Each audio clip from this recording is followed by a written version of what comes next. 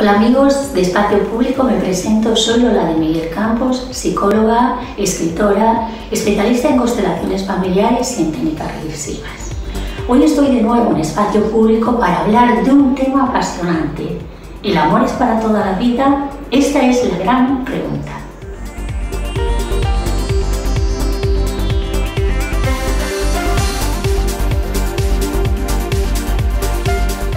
El deseo de todo ser humano es amar y ser amado.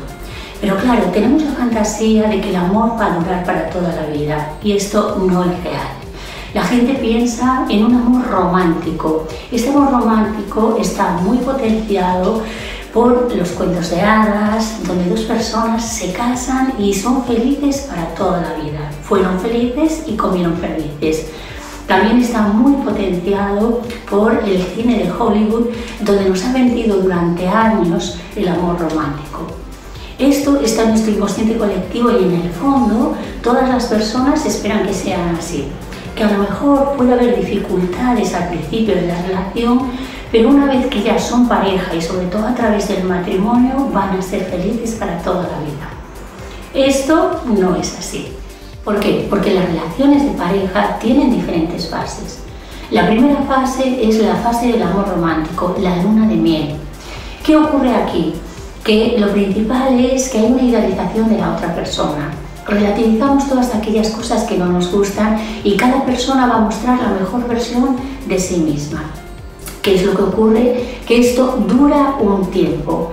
Entonces la frase sería un poco decir, me gustas pero no te veo, porque realmente es una fase ciega donde no llegamos a ver a la otra persona, pero es una fase que hay que vivir porque realmente es maravillosa y también nos gusta la versión de nosotros mismos cuando estamos enamorados. Pero esto dura un tiempo.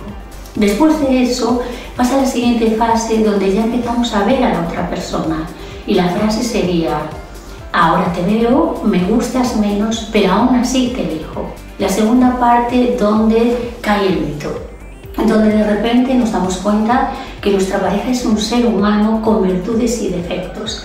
Es más, en muchos casos, aquellas cosas que nos habían gustado tanto de la otra persona, de repente es lo que ya no podemos soportar. Si nos gustaba que fuera muy gracioso, muy graciosa, ya estamos cansados incluso de sus chistes y de sus bromas. Esta es una fase que es necesario trascender, porque el amor supone esfuerzo, constancia y voluntad. Una vez pasada esta fase, empecemos a ver ya a la otra persona tal y como es, con sus virtudes y sus defectos. Y ahí ya es una elección desde el corazón y desde la cabeza. Nos gusta, conocemos sus defectos y aceptamos a la otra persona tal y como es. Hay una persona que me decía me he casado cuatro veces pero con la misma persona.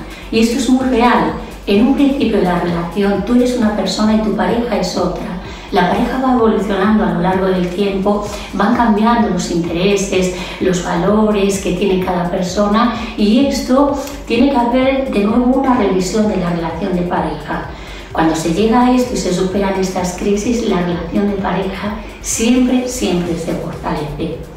Por supuesto que existe el amor para toda la vida, pero es a base de constancia, esfuerzo, comunicación y voluntad de querer seguir juntos y construir un futuro en común. Bueno, me despido de todos vosotros, soy Lola de Miguel Campos, podéis consultar mi página web lolademiguelcampos.com y también solicitar a través de la web o de mi WhatsApp eh, una sesión individual online. Hasta nuevo encuentro en espacio público.